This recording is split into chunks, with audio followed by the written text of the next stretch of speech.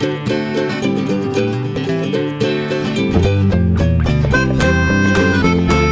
ระบวนการสังเคราะห์โคโพลิเมอร์หรือ copolymerization หมายถึงการสังเคราะห์โพลิเมอร์ที่นำโมโนเมอร์มากกว่า 1 ชนิดมาโพลิเมอไรซ์กันเหตุผลข้อหนึ่งที่ทำให้เกิดหัวข้อนี้ขึ้นมาก็คือ ต้องการปรับปรุงสมบัติของโพลิเมอร์ และพบว่า เมื่อทำเป็นโคโพลิเมอร์แล้ว สมบัติของโคโพลิเมอร์นี้จะอยู่ระหว่างโฮโมโพลิเมอร์ในบทนี้จะเน้นปฏิกิริยาการเกิดโคโพลิเมอร์ด้วยเทคนิค radical polymerization ลักษณะการเกิดของโคโมโนเมอร์ทำให้เราแบ่งโคโพลิเมอร์ตามโครงสร้างได้เป็น 4 แบบ คือโคโพลิเมอร์แบบสลับ แบบสุ่ม แบบบล็อก และแบบกราฟต์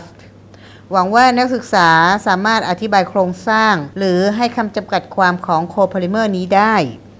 สมการทั่วไปของการเกิดโคโพลิเมอร์ก็คือการผสมกันระหว่างโมโนเมอร์ตัวที่ 1 และโมโนเมอร์ตัวที่ 2 เข้ากับตัวริเริ่ม หรือ initiator หลังจากนั้นเราก็จะให้ความร้อนแก่ระบบ เมื่อระบบได้รับความร้อน initiator ก็จะแตกตัวให้เป็นอนุมูลอิสระหรือ radical ซึ่ง radical นี้ก็สามารถทำปฏิกิริยา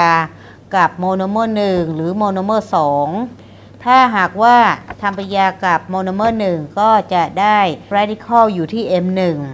ถ้าหากทำปฏิกิริยากับ M2 ที่ปลายโมโนเมอร์ 2 นี้ก็จะมี radical อยู่ แล้วขั้น propagation เกิดอย่างไรได้บ้าง ในขั้น propagation นี้ก็จะหมายถึงโมโนเมอร์ radical เข้าทำปฏิกิริยากับโมโนเมอร์ที่อยู่ในถังทำปฏิกิริยา ณ ขณะนี้เราพบว่าเรามี radical อยู่ 2 ตัว ก็คือ M1 radical กับ M2 radical ส่วนโมโนเมอร์เราก็จะมี 2 ตัวเช่นเดียวกันก็คือโมโนเมอร์ 1 กับโมโนเมอร์ 2 ดังนั้นปฏิกิริยาที่จะเกิดเป็นโคโพลิเมอร์นี้ก็ได้มาจาก 4 สมการนี้คือ 1 2 3 4 สมการที่ 1 โมโนเมอร์ radical 1 จะเข้าทำปฏิกิริยากับโมโนเมอร์ 1 ได้ปลายสายโซ่เป็น radical M1 rate of polymerization ตามสมการหนึ่งนี้ก็คือ K11 คูณกับความเข้มข้นของ M1 radical และความเข้มข้นของโมโนเมอร์ 1 โดยที่ K11 หมายถึง radical ของ M1 เข้าทำปฏิกิริยากับโมโนเมอร์ M1 นั่นเอง ในกรณีที่เป็นสมการที่ 2 ก็จะเกิดจาก radical ของโมโนเมอร์ 1 เข้าทำปฏิกิริยากับโมโนเมอร์ M2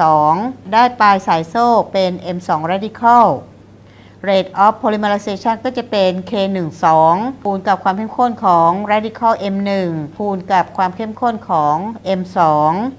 ซึ่ง A หรือค่าคงที่อัตรานี้ก็คือ radical M1 เข้าทำปฏิกิริยากับ M2 นั่นเอง ในทำนองเดียวกัน radical M2 ก็จะเข้าทำปฏิกิริยากับโมโนเมอร์ 1 และโมโนเมอร์ 2 ได้เป็นสมการที่ 3 และ 4 ดังนั้นโมโนเมอร์ 1 และโมโนเมอร์ 2 ในสายโซ่โคโพลิเมอร์หรืออัตราการเกิดปฏิกิริยา copolymerization หรืออัตราการลดลง หรือการหายไปของโมโนเมอร์ 1 ก็ได้แก่สมการที่ 1 และสมการที่ 3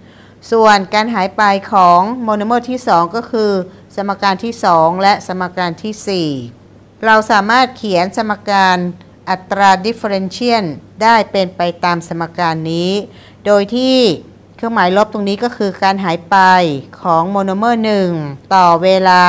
ก็ขึ้นอยู่กับโมโนเมอร์ 1 radical ทำปฏิกิริยากับโมโนเมอร์ 1 หรือโมโนเมอร์ 2 radical เข้าทำปฏิกิริยากับโมโนเมอร์ 1 ซึ่งทำให้โมโนเมอร์ 1 นั้นหายไป กรณีที่เป็นการหายไปของโมโนเมอร์ 2 เข้าไปอยู่ในสายโซ่ก็ขึ้นอยู่กับ radical M1 นี้เข้าทำปฏิกิริยากับโมโนเมอร์ตัวที่ 2 หรือ radical M2 เข้าทำปฏิกิริยากับโมโนเมอร์ 2หากนำสมการการหายไปของโมโนเมอร์ 1 และโมโนเมอร์ 2 นี้มาหารกัน เราก็จะได้สมการนี้ขึ้นมา จากสมการนี้เราพบว่า ข้างบนมีตัวร่วมคือ M1 และตัวล่างคือ M2 เพราะฉะนั้นดึงตัวร่วมออกมา หลังจากนั้นถ้าคูณสมการด้วยอัตราส่วนความเข้มข้นของ radical m1 ต่อความเข้มข้นของ radical m2 และจัดรูปใหม่ เราก็จะได้สมการนี้ออกมา จากสมการนี้ถ้าหากว่าเราหาอัตราส่วนของ radical นี้ได้ เราก็จะได้อัตราการเกิด copolymerization หรือการหายไปของโมโนเมอร์ 1 และโมโนเมอร์ 2 เข้าไปอยู่ในสายโซ่โคโพลิเมอร์นั่นเอง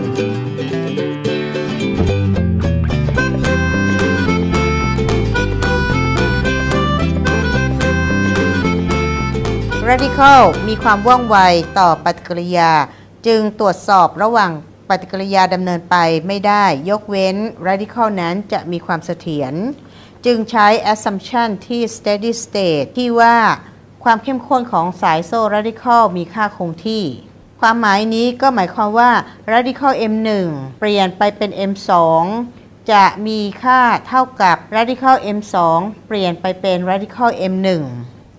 อีกในหนึ่งก็คือหากมาดูสมการของ propagation m1 radical เปลี่ยนไปเป็น m2 radical หรือ m2 radical เปลี่ยนไปเป็น m1 radical ก็คือสมการที่ 2 เท่ากับสมการที่ 3 นั่นเอง จากค่านี้เราแก้สมการหาอัตราส่วนของ radical นี้ จากนั้นเราก็เอาไปแทนค่าในอัตราส่วน radical นี้จะได้สมการนี้ขึ้นมา ในสมการนี้จะเห็นว่าเราเจอค่า k หรือค่าคงที่อัตรา ซึ่งอาจจะเป็น k11 k12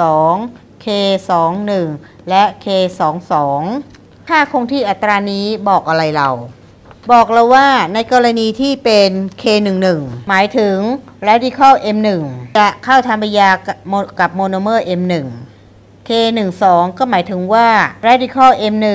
เข้าทำปฏิกิริยากับโมโนเมอร์ 2 นั่นหมายความว่าอัตราส่วน k11 ต่อ k12 นี้ จะหมายถึง radical 1 ชอบทำปฏิกิริยากับโมโนเมอร์ตัวใดมากกว่ากัน หรืออาจกล่าวได้ว่าโมโนเมอร์ชอบเข้าทำปฏิกิริยากับ radical นั้นหรือไม่นั่นเอง จึงกำหนดเป็นค่าอัตราส่วนความว่องไวหรือค่า r rx ก็หมายถึง kxx หารด้วย kxy เช่น r1 ก็จะหมายถึงอัตราส่วนระหว่างค่าคงที่อัตราของ k11 ต่อ k12 ถ้าเป็น r2 ก็จะเป็นอัตราส่วนของค่าคงที่อัตรา k22 ต่อ k21 เราแทนค่า r ตรงนี้